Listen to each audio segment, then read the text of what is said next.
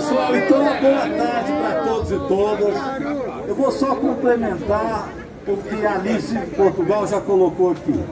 Nós acabamos de sair da reunião da minoria, que são os partidos PT, PCdoB, PSOL, PSB, PDT e Rede. Mas também o Solidariedade e o PV, nós já fechamos questão contra a PEC 32. A primeira decisão nossa é que nós mantemos esse fechamento de questão e nós não vamos ficar buscando emendar esta PEC, buscando consertar essa PEC. Nós queremos derrotar a PEC na sua totalidade. Essa é a primeira questão que nós definimos lá. Para isso, nós vamos fazer dois textos. Um texto à sociedade brasileira, de todos esses partidos, e vamos chamar outros a assinarem também, dizendo que não é possível aprovar uma reforma administrativa desta, porque ela é uma deforme. O que ela faz é apontar a privatização da prestação de serviço público e como transição, colocar todos os servidores como servidores temporários, sem carreira, sem estabilidade e sem direitos. E para isso destruir o serviço público. Esse é o significado deste substitutivo e desta PEC que foi apresentada. Vamos dizer isso à sociedade brasileira, para que ela esteja mobilizada para não permitir a aprovação desta PEC. O segundo é um documento ao conjunto dos deputados e deputadas desta casa, dizendo que este é o pior texto que foi apresentado da reforma. Este texto é tão ruim quanto a proposta original. Deputado que votar nisto, não venha dar a desculpa de que foi melhorado de alguma forma o texto original. Não foi. Foi piorado.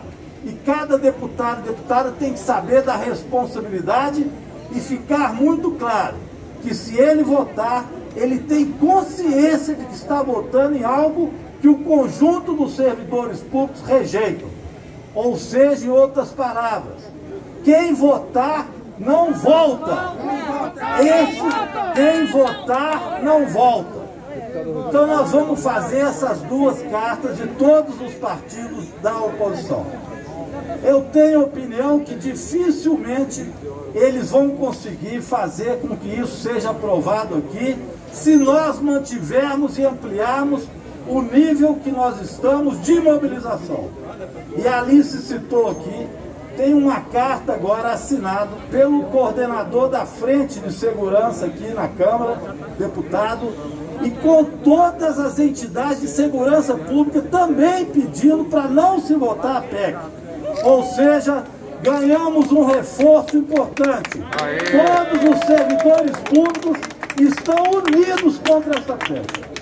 Portanto, eu acho que nós temos condições de vitória. Mas olha, pessoal, duas são as nossas estratégias daqui para frente para garantir essa vitória.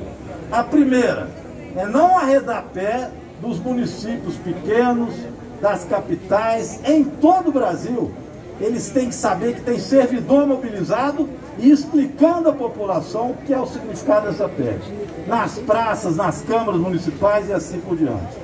Portanto, manter a mobilização pela base e também manter a mobilização nos aeroportos.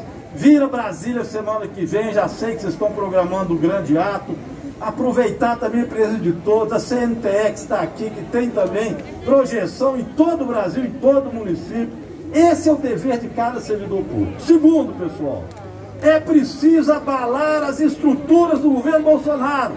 Dia 2 tem que ser ato forte por todo o Brasil. É fora Bolsonaro, impeachment já.